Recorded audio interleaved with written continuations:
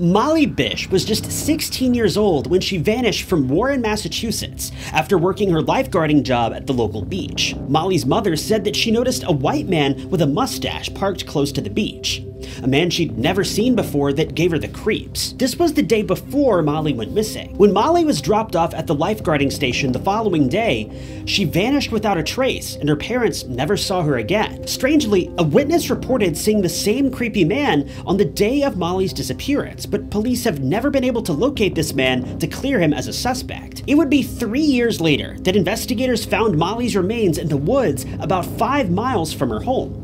Police have no idea how she lost her life, but they believe that she was buried there shortly after she was taken. Her case remains unsolved all these years later. I'll be doing a deep dive on this case soon, so be sure to subscribe and check out my main channel for full-length videos.